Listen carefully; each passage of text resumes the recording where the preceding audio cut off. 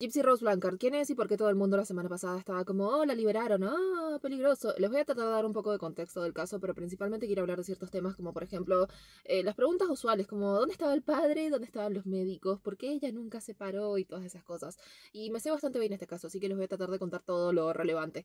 Básicamente, para conocer el caso de Gypsy, vamos a representar a Gypsy con este Totoro, tenemos que empezar por su mamá Didi. ¿Qué, ¿Cuál de estos Totoros va a ser su mamá? ¿Cuál será el más malo? Este. Su mamá Didi. Didi tenía problemas y no solamente me refiero al síndrome de Munchausen by proxy, que en esencia es como ser hipocondriaco, pero los hipocondriacos en serio creen que tienen los problemitas que creen que tienen y es una especie de paranoia. En cambio, las personas con el síndrome de Munchausen lo hacen para llamar la atención, quieren llamar la atención. Y Munchausen by proxy significa que proyectan estas enfermedades en otra persona. Es decir, quieren la atención y la compasión por estar lidiando con un niño, con estas enfermedades y todo eso, porque no quieren las consecuencias de realmente fingir que tienen ellos la enfermedad. Entonces, enferman uno de sus hijos. Pero Didi tenía otros problemitas, a eso me refiero. La mamá de Gypsy, Didi, desde que era muy chica tenía problemas en su casa y en su familia porque decían que era muy manipuladora, les robaba cosas, tenía mm, problemitas de personalidad. Y principalmente un dato relevante que muchas personas no mencionan sobre Didi es que tuvo a Gypsy con unos dulces 24 años ya siendo enfermera con su marido de 17.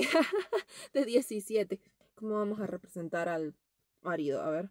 Ah, este Totoro chiquito, porque estaba chiquito, demasiado chiquito para estar casado con ella. La cuestión es que después de que nació Gypsy, se separaron porque el papá de Gypsy se dio cuenta de que se había casado por las razones equivocadas.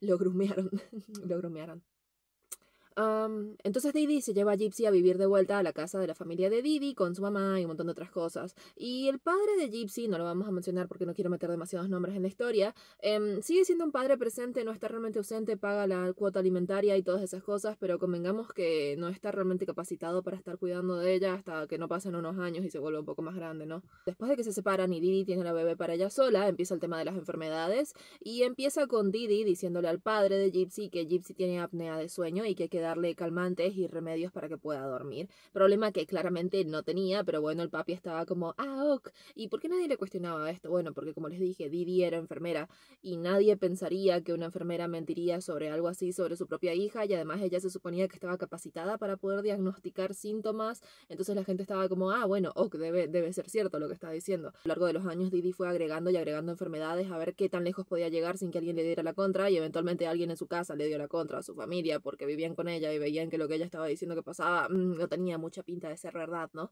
Pero le tenían un poco de miedo a Didi. Y un día la mamá de Didi la confrontó demasiado fuerte y se murió un tiempito después coincidencia, divertido, conveniente. Creo que se entiende un poco por qué la familia de Didi le tenía miedo. La cuestión es que Didi empezó a sentir que estaba como en peligro de que la descubrieran demasiado fuerte, entonces tiene que mudarse y ocurre un evento muy conveniente para esta altura de la vida de ella y la de Gypsy, y es que el papá chiquito ya no estaba tan chiquito y se casó con otra mujer, así que ahora Gypsy tenía una madrastra y además él tenía una casa, y él les propone vivir todos juntos como una familia compuesta y que Didi y Gypsy se muden con ellos, y lo hacen conveniente porque Didi se puede escapar de su familia que ya estaba sospechando. Cuando se mudan todos juntos, no tengo un peluche para la madrastra, así que la vamos a interpretar con este. este mono. Ahora era una bonita familia compuesta. ¿Y qué pasa? Cuando Didi se muda con ellos, empieza a encargar de las comidas y casualmente la madrastra de Gypsy se empezó a enfermar mucho, mucho, mucho, mucho. Coincidencia, divertido, conveniente. Y bueno, el papá de Gypsy se empezó a dar cuenta de que estaba pasando algo medio raro, medio sospechoso, ¿no? Entonces empieza también a presionar a Didi y Didi otra vez se siente presionada y ¿qué hace Didi cuando se siente presionada? Se escapa. Y la presión no solamente venía desde la casa, sino que Didi estaba empezando a tener problemas con los médicos, porque cada vez que un médico no le daba la razón con la diagnosis que ella hacía, cambiaba de médico y medio que ya había pasado por todos los médicos de la ciudad, ¿no? Y Gypsy ya se habían hecho como conocidas por la ciudad porque pasaban por todos los médicos y la madre decía, mi hija tiene como tres tipos de cáncer y los médicos le decían no y ella cambiaba de médico porque no les daban la razón. Y llegaron a un médico que les dijo, mm, ¿por qué tu hija no camina? Lo que pasa es que una vez Gypsy cuando tenía nueve años se raspó la rodilla y su mamá le dijo que los médicos le habían recetado una silla de ruedas para, para la raspadura en la rodilla. Y Gypsy lo creyó y dijo, ah, bueno, ok. Pero realmente no había ningún estudio o cosa real que justificara que Gypsy estuviera en silla de ruedas. Entonces cuando fue este médico, él estaba como, levántate y ándate, muchacha. Eso no le gustó a Didi y se peleó con el médico. Entonces ahora estaba teniendo problemas en la casa y con los médicos y se sintió algo presionada de escapar de ese área. El médico dijo después en una entrevista que él quiso hablar del tema, pero cuando se, se, lo comentó a sus compañeros doctores y a todos los otros doctores que conocía, le dijeron que no se meta con ese par y que las trate con manos y guantes de oro. No sé específicamente qué significa eso, pero supongo que significa que todo el mundo le tenía miedo a Didi. Didi decide escaparse con Gypsy a otra ciudad, a otro estado, y cuando llegan la gente les empieza a preguntar lo mismo, ¿por qué los estudios no coinciden con las cosas que se suponen que tiene? Porque a este punto Didi ya le había rapado la cabeza a Gypsy porque supuestamente tenía cáncer y se le caía el pelo. Mentira, no se le caía, no se le caía el pelo. Y Didi les dijo que era porque estaban escapando de su ex marido abusivo, que las estaba persiguiendo y, y que habían falsificado y que ella con sus poderes mágicos de enfermera había alterado todos los registros y cosas para que el marido no pueda encontrarlas. Y entonces ahora el marido, el marido chiquito, ¿dónde está? Acá ya no podía acercarse a ellas porque tenía una orden de restricción y todo el mundo pensaba que era un abusivo y no le daba información sobre dónde estaban, pero bien que le cobraban la cuota alimentaria, sí, eso sí. Otra cosa, ¿por qué los de la escuela o algo así no se metían? Cuando Gypsy iba a la mitad de la primaria, su papá empezó a preguntar por qué tenía tantos problemas, qué es lo que le pasa. Y su mamá, Didi, dijo que era porque le faltaba un cromosoma. Y eso no era realmente coherente con el desempeño académico de Gypsy porque le iba bien en la escuela, le iba como cualquier niño regular.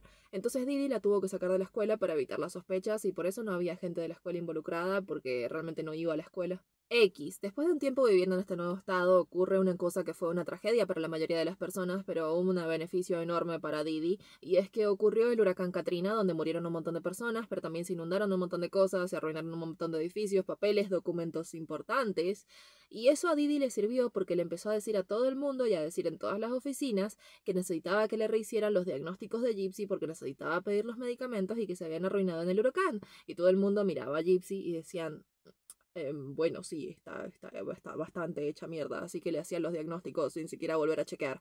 Así que le hicieron los estudios de vuelta como para renovar, como si se hubieran perdido en el huracán, y ahora Didi tenía papeles oficiales reales confirmando los problemas que supuestamente tenía Gypsy que no tenía. También Didi dijo que había perdido el certificado de nacimiento de Gypsy y le quitó como 5 años, porque Gypsy para esta altura tenía como 18, 19 y le puso como 13, 14. Y acá es cuando todo se pone muy loco, y por muy loco me refiero a más loco de lo que ya era, y es que aparecen en las noticias. ¿Por qué? Porque pasa el huracán Katrina, ellas están dando vueltas y aparece un periodista que también será interpretado por este multifacético mono eh, y les dice, oh, wow, una niña súper discapacitada con su mami, deberíamos ayudarlas porque están sufriendo y necesitan cuidados especiales. Entonces las contacta con un montón de caridades y salen en todas las noticias y les regalan una casa, un montón de medicamentos, tratamientos gratis, cirugías gratis, sillas de ruedas. Y no sé si lo recuerdan, pero a Didi le gusta llamar la atención, así que aprovechó este momento y empezó a salir en todos los putos canales de televisión dando entrevistas hablando sobre lo duro que era cuidar a una niña con tantos problemas y todo el amor que se requería y la al volverse populares les empiezan a invitar a eventos, entre esto convenciones de sci-fi,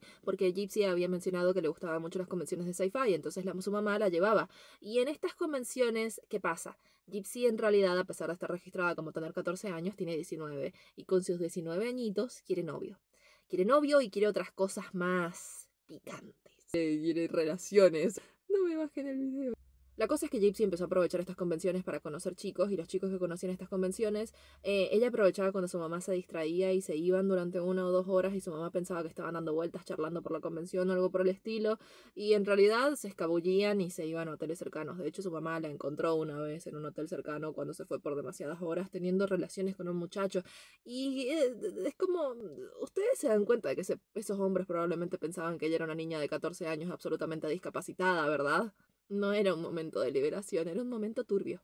Luego de un tiempo, Gypsy recupera su acceso a sus electrónicos, pero con más revisión, y encuentra un sitio de citas cristiano. En su sitio de citas cristiano conoce al hombre que va a matar a su mami, jajaja, a John Godewill, Gode, Godejon, no sé, Godejon se llamaba. Godejon tenía antecedentes extraños, tenía antecedentes de nudismo público. No es pertinente el caso, pero es, es interesante. ¿Qué peluche va a interpretar a Godejon? Ah, el Totoro, el Totoro.